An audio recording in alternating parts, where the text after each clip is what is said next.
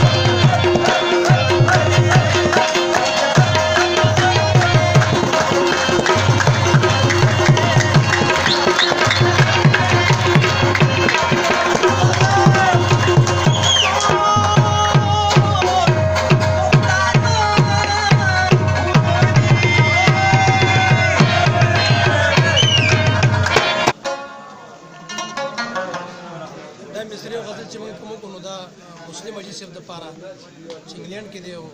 پاکستان کې چرار صادق خان دی چې هغه په پوره مېش باندې وشو او زما یو مرګره دی چې هغه پاکستان کې چې درته شي انګلند کې دی هغه په مېش باندې داخل وشو او بل زما یو مرګره دی چې په قطر کې دی عبدالرحمن فخر خیبر چې د خیبر ایجنسی سره 13 تعلق لري ټول مسافرو لپاره خو دې درې وړاندې سپیشل چې کومه دا مصري دا غزل دا ما په نسبون مګنی باندې ګلوکار دي زموږ